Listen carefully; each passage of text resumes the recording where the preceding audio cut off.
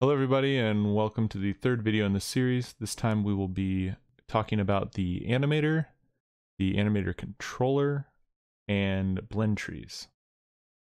So an animator controls all the animations in an object or player character in a game. Um, the controller needs an avatar, so like we talked about before, this is like the bone structure and uh, the rig that tells it how to move, and the animator controls what those mo- movements are. So to create a new animator controller, um, we already have one here, but if you had your own project, you would go to anim- uh, add component, you type in animator, and it's this one right here. And that will bring up new animator, and then it will ask you for an animator controller and an avatar put into it. Uh, to create a new animator controller, you right click into the project files, create, and scroll down to animator controller. I'm to click on that just to show you guys. Uh, it's going to give you this blank uh, state here. Everyone's going to have an any state exit and entry. And you right click to create a new state new state would let's say be idle for example. And it's automatically going to go into the state from uh, its awake state. So entry right into your first state and then whatever motion you put here. So for what we're, we were given we have see human crouch idle um, human idle. So let's take this uh, play button square here. This is going to be, any animation is going to have that symbol. We're going to drag and drop that into the motion. What that's going to do, we double click on it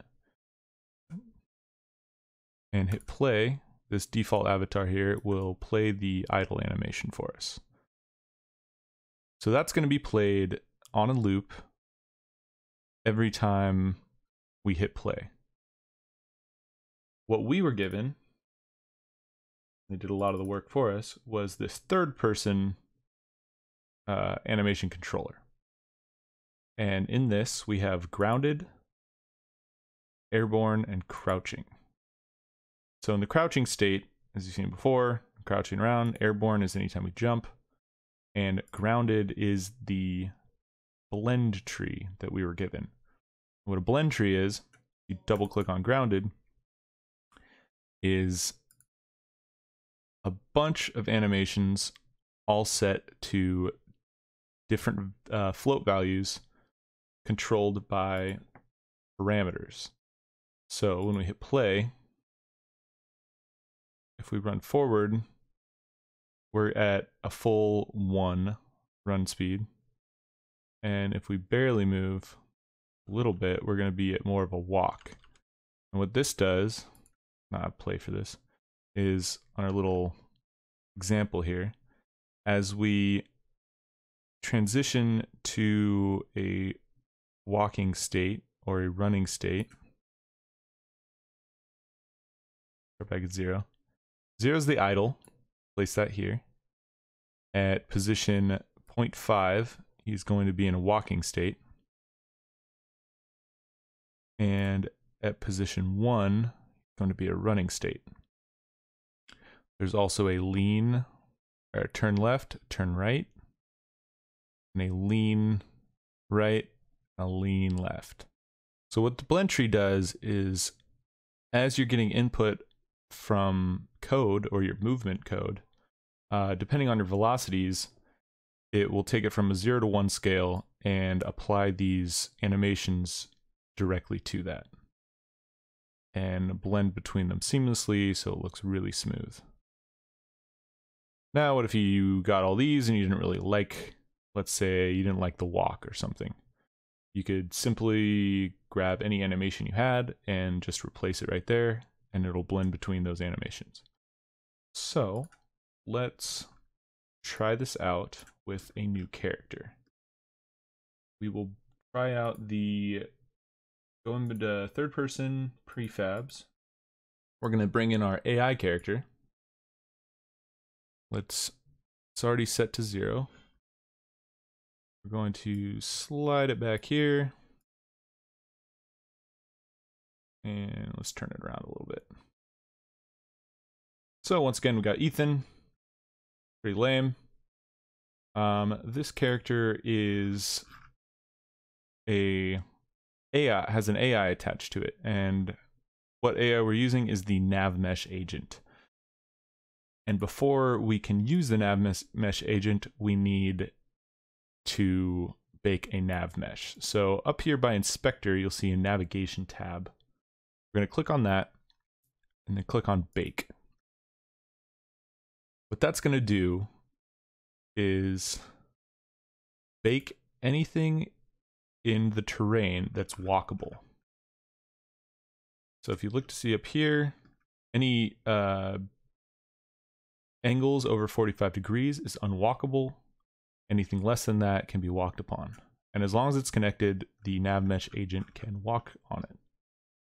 Another thing that it gives us in the standard asset pack is the ability to have a target and that target is under the AI character controller script. So the target we want for this is our player. We're going to drag him down. And now that we have baked the nav mesh, our nav mesh agent can patrol towards our player. So if we hit play,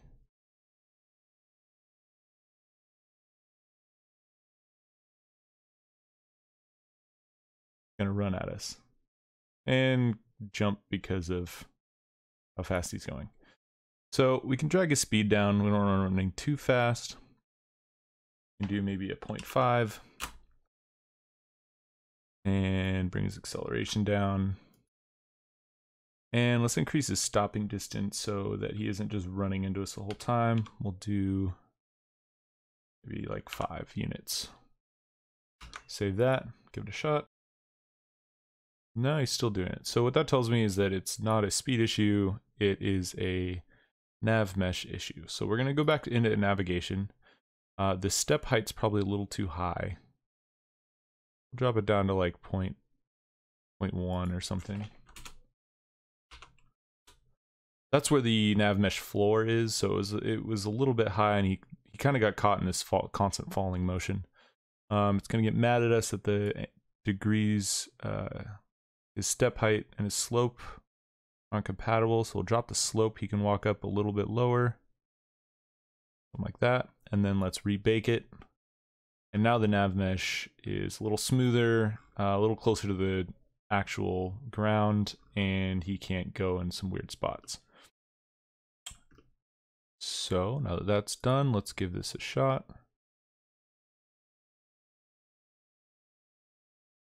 And He's walking. All right, looks good. It's not falling anymore. Uh, the stop distance a little far away. We want him to be able to get close to attack us, so we'll make that into a one. One unit away. We'll keep walking and stop when he gets right to us. Little push, but that's not bad. Okay, so Ethan's a little lame. So we're gonna switch them up like we did before. Let's go back into Mixamo and let's have, what should we have? Let's have ninjas versus, ninjas versus zombies. He's a little too cartoony. Um, see if we got another option here. The zombie's pretty good. Oh yeah. Okay, so we'll have ninjas versus zombies. And this time, let's bring in an animation to put into our blend tree. When you click animations, it has hundreds and hundreds of animations to choose from. But that walk didn't really look like a zombie walk. So let's look up zombie, see what they have here. They got a different idle, they got a crawl. Look for a zombie walk, maybe. There's a good zombie walk. Okay, so let's grab that. Nice, so looks good. Um, let's download this. And we are going to download this with skin this time since we have a new um, a new model we want to use. Same with FBX for Unity. Frames per second 30 is fine. And we're going to hit download.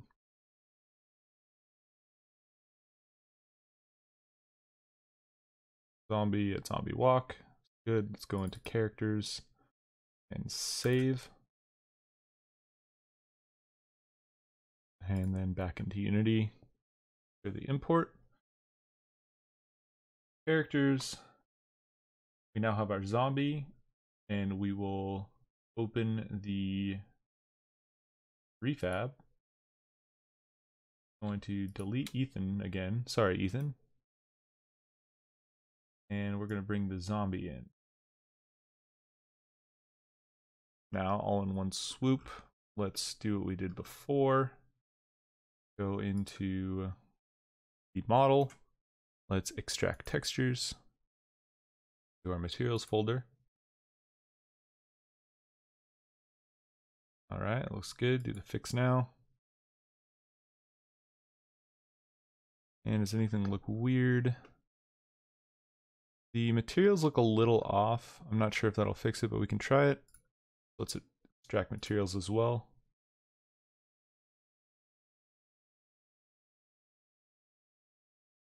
Didn't seem to change too much, but that's okay. All right, uh, lastly, go back into rig, switch the rig to humanoid, and create from this model.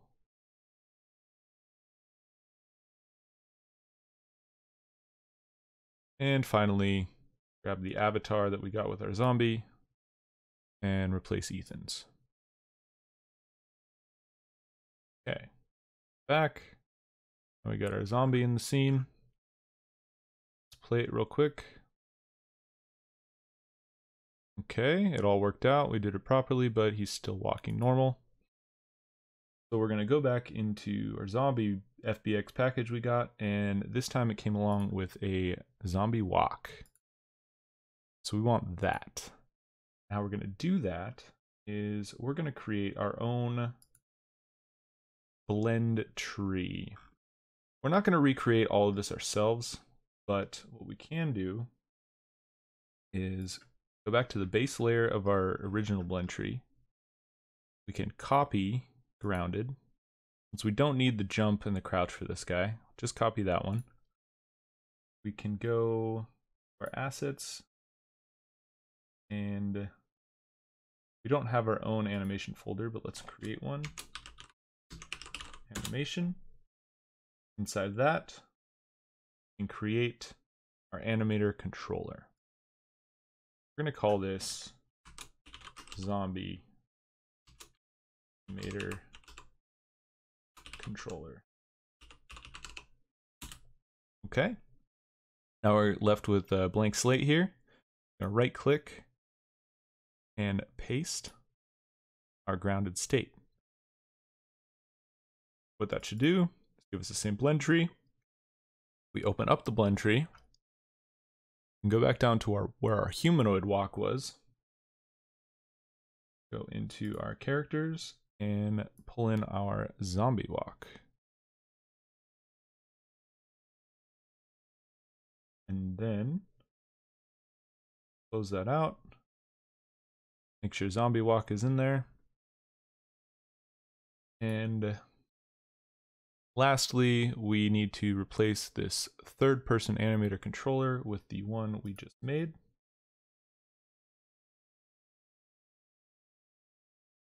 And save. Now let's try it out and see what works. See if it works.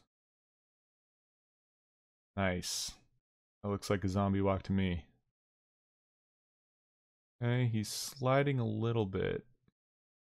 And that that's because the animation is not looping. So what we need to do is go back into the where the animation was originally.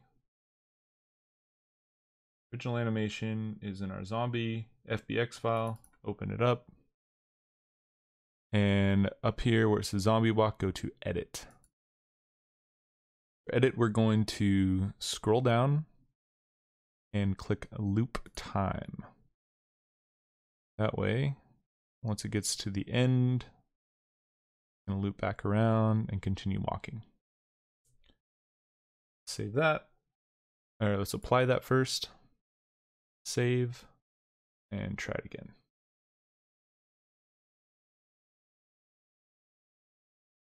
There we go. Now we got a the impending doom of our zombie. All right. Now that we have these, uh, that's pretty good for this video. It's getting a little long already.